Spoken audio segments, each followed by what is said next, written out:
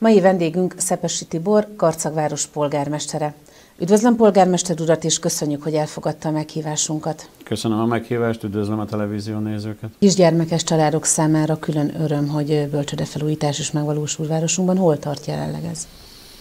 Ugye itt két bölcsödéről beszélhetünk most már, eh, hiszen itt is nem olyan rég bejelentettük be, hogy megkaptuk azt a pénzügyminisztériumi támogatást, amely a vasútúti bölcsöde azt nem mondom, hogy teljes felújítását, hiszen egy vadonatúj bölcsödét fogunk építeni a vasútúti jelenlegi bölcsöde épület helyén. De akkor kezdjük ezzel. Ugye, én azt remélem, hogy valamikor az ősz folyamán el tudjuk kezdeni ennek a bölcsödének az építését, illetve a meglévőnek a, a bontását, és ahogy a tervek kész vannak, ugye az engedélyes tervek, kiviteli tervek elkészültek, én azt remélem, hogy addigra a közbeszerzési eljárást is, eljárást is le fogjuk tudni folytatni, tehát semmi akadálya nem lesz annak, hogy ott mondjuk egy októberi munkakezdéssel el lehessen építeni, el lehessen kezdeni egy új bölcsöde építését, amely, ha jól emlékszem, akkor négy csoportos bölcsödét fog jelenteni. Ennek viszont feltétele az, hogy azokban az intézményekben, és ugye két óvodai intézményről beszélünk, a Takács Péter és a Táncsics körúti óvodai intézményekről, ahova a mostani csoportokat el tudjuk helyezni, hogy ezek megürüljenek. Ennek pedig az a feltétele, hogy a Varró úti eh, bölcsöde határidőre, augusztus végére eh, teljes egészében elkészüljön, és, és át tudjuk adni a közönségnek, ugye a használóknak, a legkisebb gyermekeknek, a bölcsödéseknek.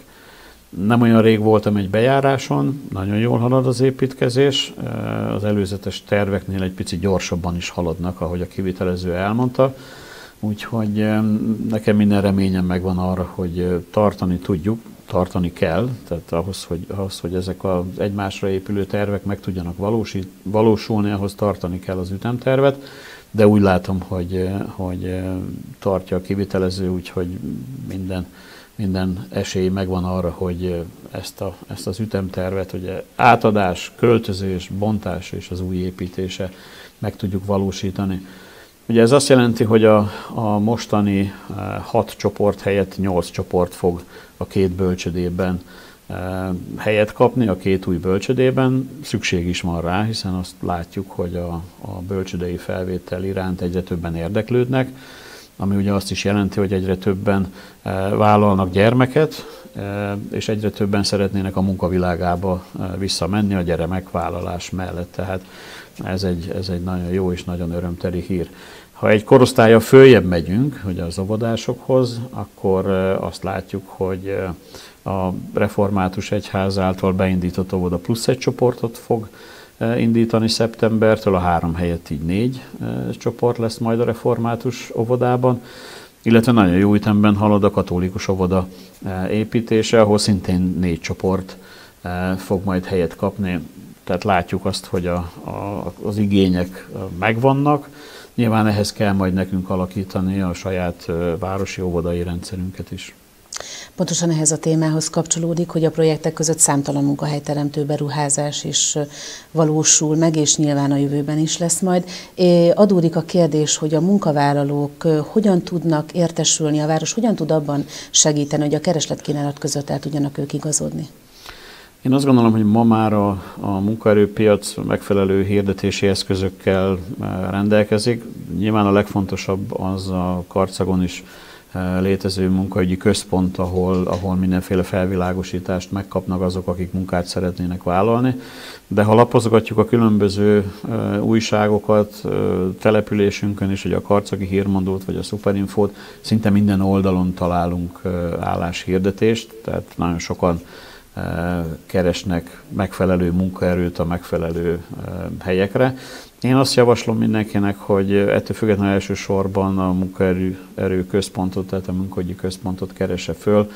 Ők rendelkeznek minden olyan információval, amely a különböző karcagi, akár frissen átadott munkahelyekről is kellő bizalommal és kellő odafigyeléssel kaphatnak információt a különböző végzettségekkel kapcsolatban, az, hogy kihez kell fordulni. Úgyhogy én mindenkinek azt javaslom, hogy nyilván lapozgassa a helyi újságot, mert abban azért nagyon sok információ van, de a következő lépés, hogyha úgy gondolja, akkor, akkor legyen az a munkahogyi központ. Polgármester úr, hogyan látja a jövő karcagját? Én ugye a pályázatok miatt és, és amiatt, hogy kicsit komplexen látom, látjuk néhányan nyilván a képviselőtestületben és illetve a polgármesteri hivatalban is azokat a lehetőségeket, hogy mire tudunk pályázni, és milyen irányba tudjuk fejleszteni a várost, és most már azt gondolom, hogy, hogy talán a kívánságaink is meg tudnak fogalmazódni, hiszen Látjuk azt az együttműködést az országgyűlési képviselőkön keresztül a magyar kormányjal is, hogy, hogy nem csak egy meglévő pályázati kiírást, hanem az igényeket is megpróbálják kormányzati szinten is bekérni, és esetleg ehhez igazítani a különböző pályázati kiírásokat. Én egy dinamikusan fejlődő, egy frissen megújuló és egy, egy élhető, nagyon szép települést látok a jövőben. Polgármester úr, köszönöm az interjút. Köszönöm szépen.